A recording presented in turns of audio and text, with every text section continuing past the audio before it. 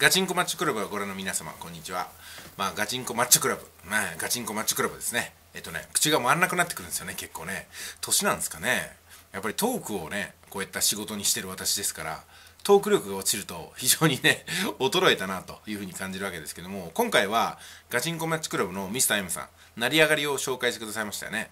うん。成り上がりもすごいね矢沢永吉さんのものすごいストーリーがそこに凝縮されてるわけなんですけども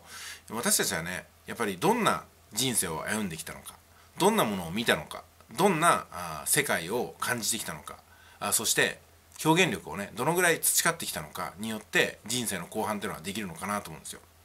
まあその中でねたくさんの人が当たり前にやってきたことだけしかやってないと結構ねネタって作りにくいんですよ。ま、それでもね表現力があればできるんですけどもなかなか難しいですよね。そういう意味で言うとねミスター M さんみたいに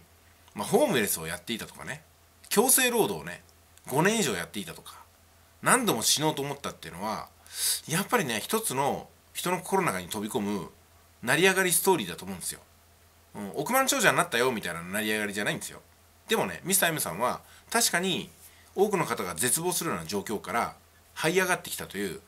這い上がりですか？成り上がりに かけまして。這い上がりというやつですね。そして這い上がる力があったらそこからまたね成り上がる力もその分あるわけなんですよ。そしてその第一歩としてミスター M さんは今回ガチンコマッチョクラブというね、えー、ご自身の世界を作りました。そこに今15名以上の方が参加されてるみたいですよね。これってミスター M さん半年前にそんなことを想像して歩んだんでしょうか？多分そうではなくてある時はね日々の動画を作ることに一生懸命だったと思います。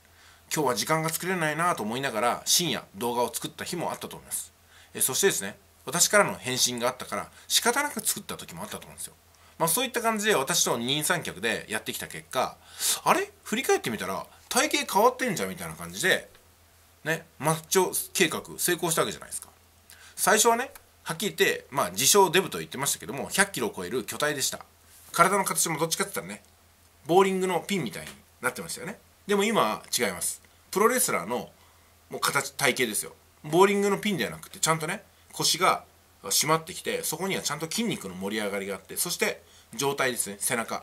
あきちんとコブができてるわけですよシュワルツネガーみたいにねそのコブができているそのスタイルっていうのは私たちがついていくに値する背中なんですよ。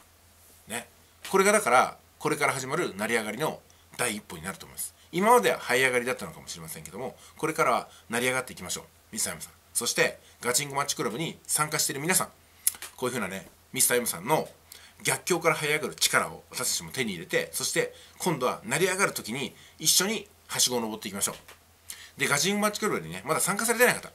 動画概要欄に参加の方法がありますのでそちらのね参加の方法っていうのはライアントに登録するだけなんですけどもそちらの方にご登録いただいてしっかりとねミスター M さんの背中を追いかけていきましょう。それでは本日は以上です。